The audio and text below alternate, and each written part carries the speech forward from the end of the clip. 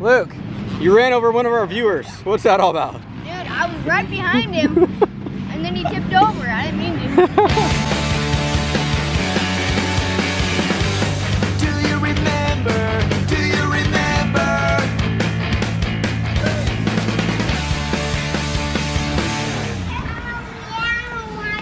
Time to put new grips on the TC50. We're gonna be using the Risk Racing Fusion 2.0 grip set.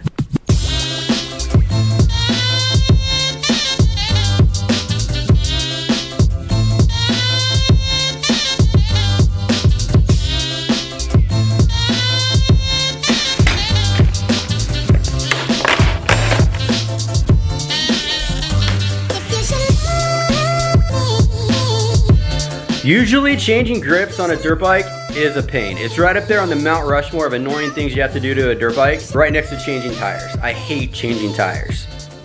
Dad, can I get new tires for my bike? No, never. Just like everything else Risk does, these grips are innovative, they're creative, they grip very well, they will not slip, they do not require glue, they do not require wires to hold them in place. And I didn't think that was a big deal, but it actually really helps because when you're grabbing onto the grip, it doesn't even feel like you're grabbing onto the grip. There's no give between the grip and the bar. So it feels like you're grabbing the handlebar and you're just one step closer to being connected and one with the bike. But the coolest thing about these grips is putting them on. You take the fusion strip, take the bottom layer of backing off, rub it onto the grip till it gets stuck, put it just to the edge where it overlaps on the edge of the bar, and then you can start taking off the back layer of the fusion strip. At this point, you're gonna spray a few squirts of the catalyst directly onto the fusion strip. Use your fingers to spread it around evenly. Before I put the grip on, I like to give it about 13 to 15 seconds to really let the catalyst just kind of soak in, absorb, do its magic. During that time, I would encourage you just to try to do something productive. Write that novel that you've been thinking about. Try a new cake recipe. Go peacefully riot at your favorite electronic dealer. Or if you're like me, I like to just use that time to bond with my children. Be sure to set a timer though. Hey Mason. Hi. How are you, buddy? Good. Are you sure? You doing all right? Yeah. Mason, you can talk to me. I kind of get the feeling like something might be wrong. Well, my teacher's been bullying me at school. Every morning she makes me get up in the class and All right, I gotta go. Good talk, Mason.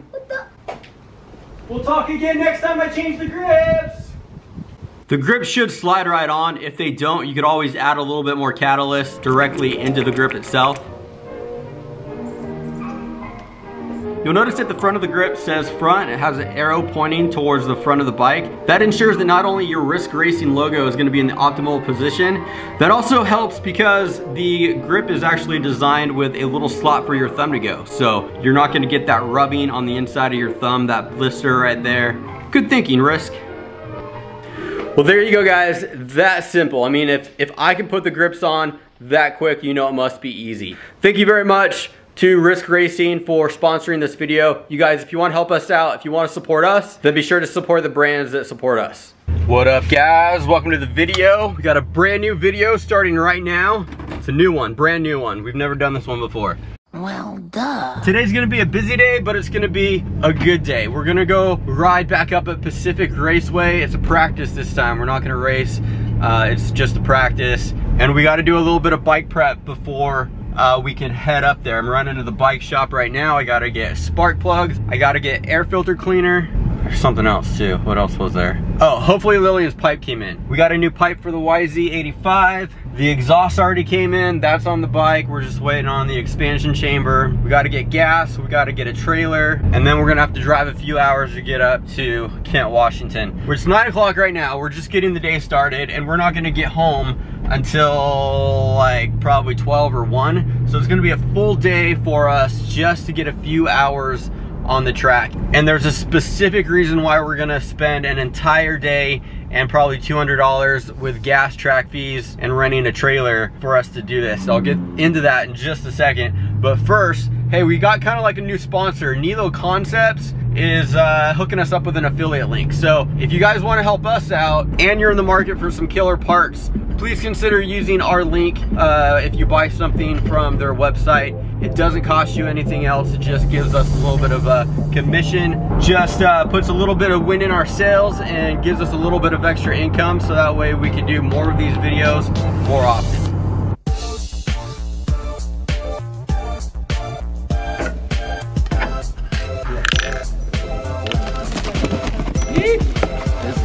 Check it out. Nice. It's blinging. She's gonna love that.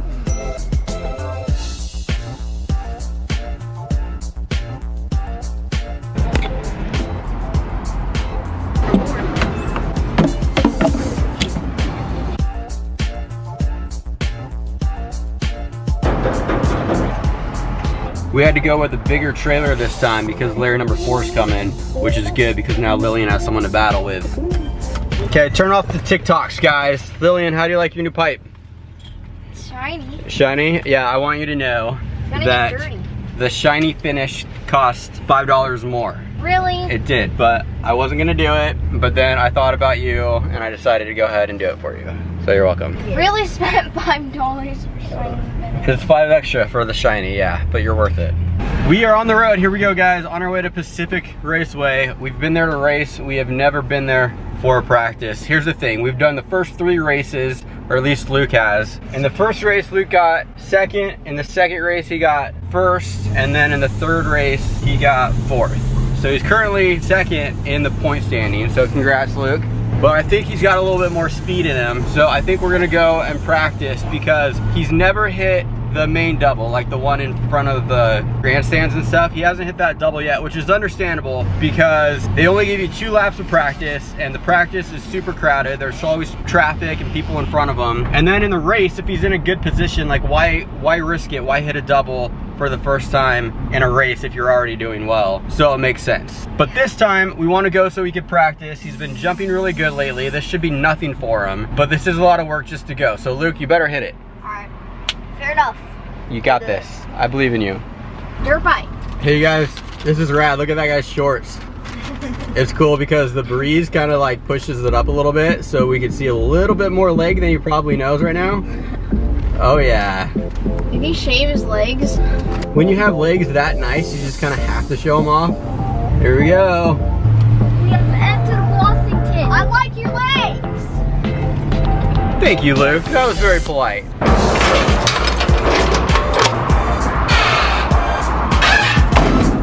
Up, Larry? New bike, new number, new Larry. What did you in there? You have downs? Fresh new 2020. Are you jealous, Luke? Yeah. Me too. Larry, congrats on the new bike, man. Thank you. Why'd you change your number? Uh, my dad changed it. Oh, okay. So instead of Larry number four, you're Larry number four four. Or as the ladies call him, Larry number foo foo. So when you get a 125, you'll be Larry number four four four. Yeah, probably. Okay, cool. And then when I get a 450, I'll be Larry 4444444. It's set.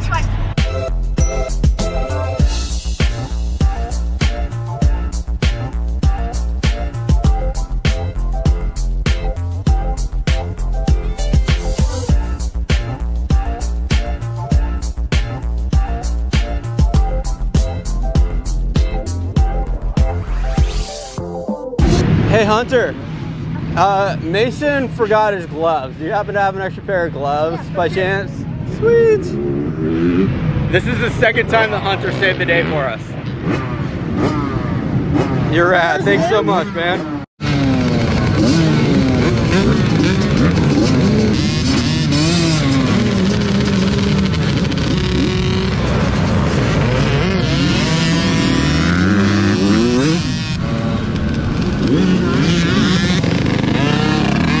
All right, moment of truth. This is the first practice session. Luke is following Hunter. The fast kid just moved up to 65 and he's sticking on him okay, so hopefully he learned something.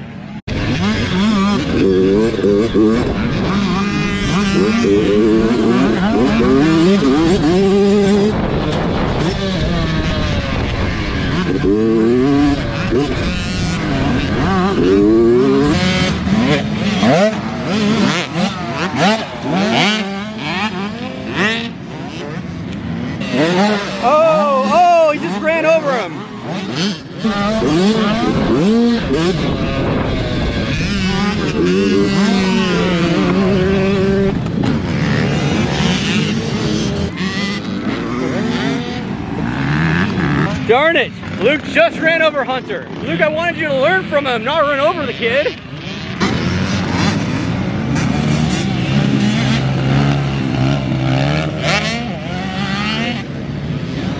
I think he's got it. Open track in front of him, I think he'll go for it.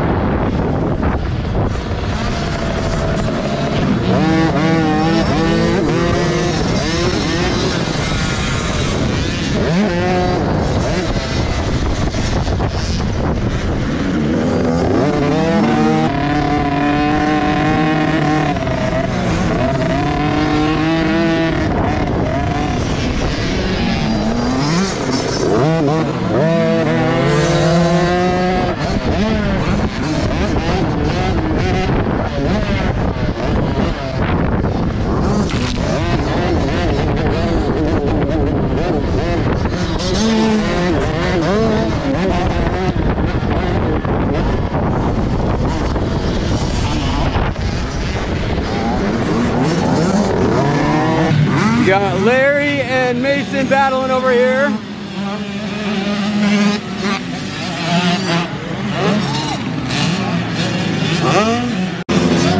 Ooh, Lillian. Trying to make a pass through the woods.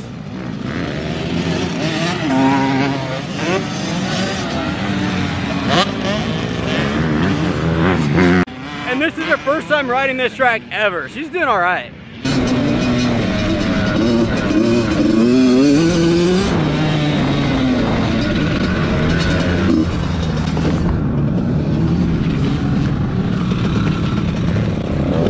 Mm-hmm.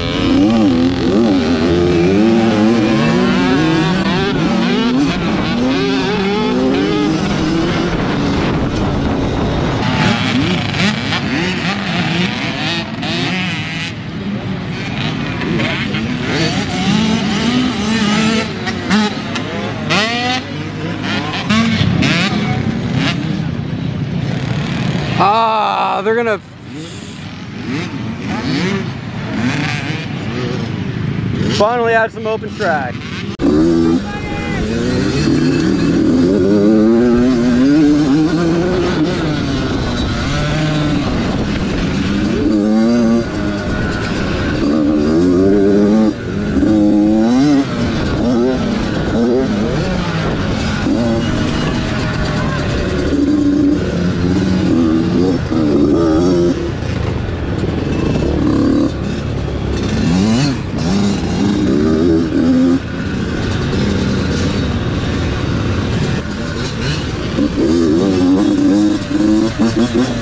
Lil, you killed it. Good job. Not even joking. You were doing awesome. Mason, good job, buddy. How do you like that? Okay, good talk. Luke, you ran over one of our viewers. What's that all about? Dude, I was right behind him, and then he tipped over. I didn't mean to. Hunter, dude, I'm sorry Luke ran over you. He's grounded. He's not racing again He for three months. He hit my knee. I'm glad you're okay. From my view, it looked like he like ran over your stomach. He ran over right here. Cool. I'm glad. I'm glad that uh, you're all right. Next time, I'll I'll have have uh, Luke follow you off the double because you're doing it really good.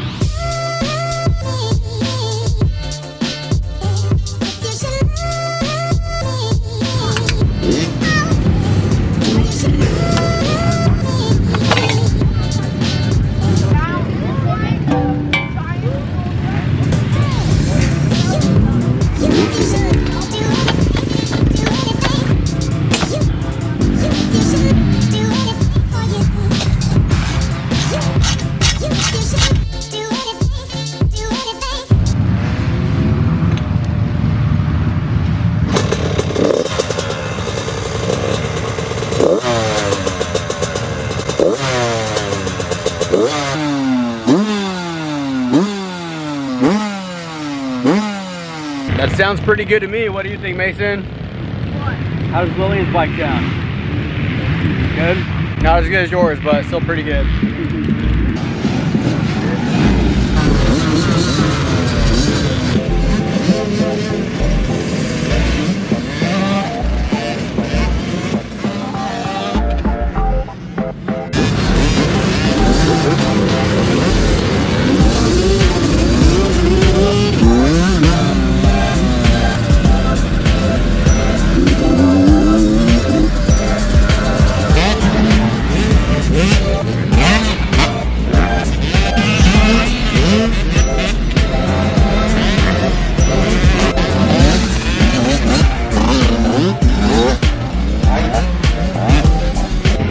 want to hear the problem? I can tell you the problem. The longer you wait to hit a jump, the longer it takes you, the more you think about it, the more big it gets in your mind, the more it psychs you out. He's been thinking about it too long. He's been riding here for like, what, four weeks and hasn't hit it yet?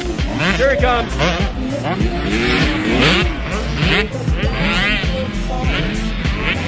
Like yesterday, we went to Mountain View. First time on the track, he's hitting big jumps, way bigger than this. We come here, this psyched him out. He's not gonna do it.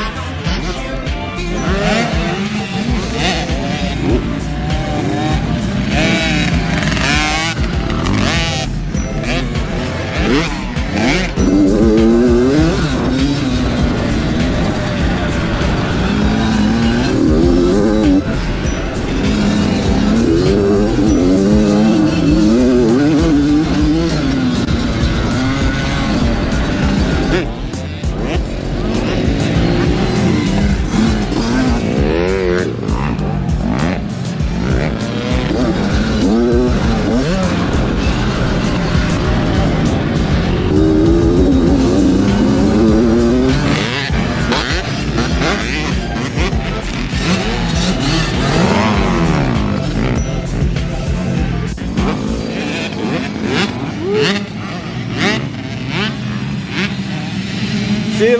had he had lots of track room last time. He didn't do it. Now there's nothing but traffic.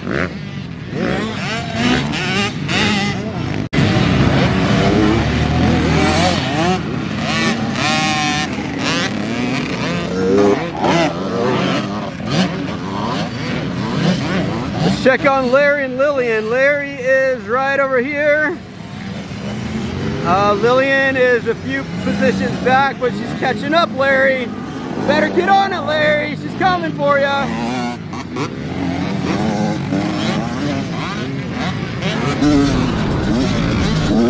Mm.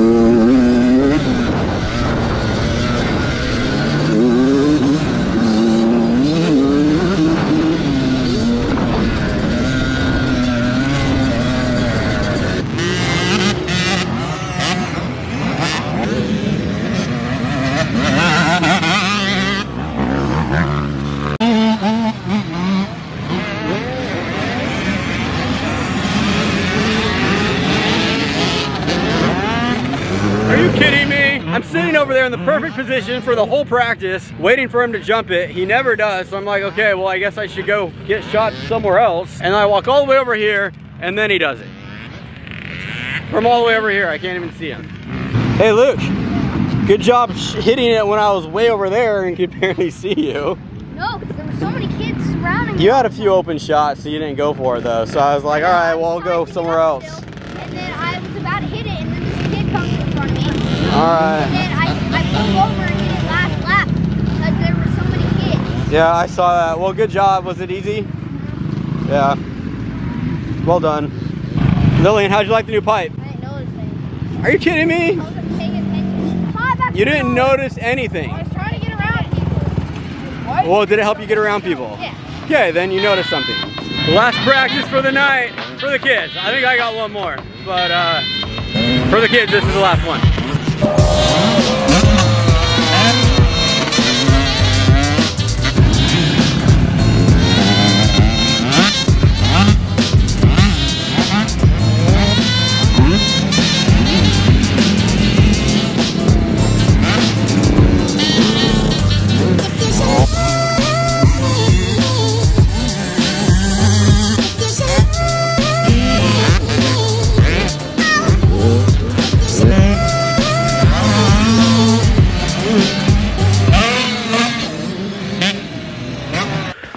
Hold on guys, one second. Let me just interrupt this vlog to explain something real quick. I'm sure you're probably noticing that I don't have any GoPro footage of Luke or myself, and that's because Luke and I were sharing a GoPro and I cannot find that footage anywhere for the life of me. I've been looking, but at this point I just give up and I'm just gonna upload the video as is. Um, but you get the gist. I mean, Luke flew around the track, hit the double a couple of times. I putted around, got past a lot, you know, you know how it goes. Uh, so sorry I don't have that GoPro footage. The only shot that I had actually was when Luke ran over Hunter. And the reason I have that is because when I got home, I uploaded that to Instagram and then I was able to pull that off of Instagram and put it into the vlogs. So sorry I don't have any GoPro footage of uh, me or Luke.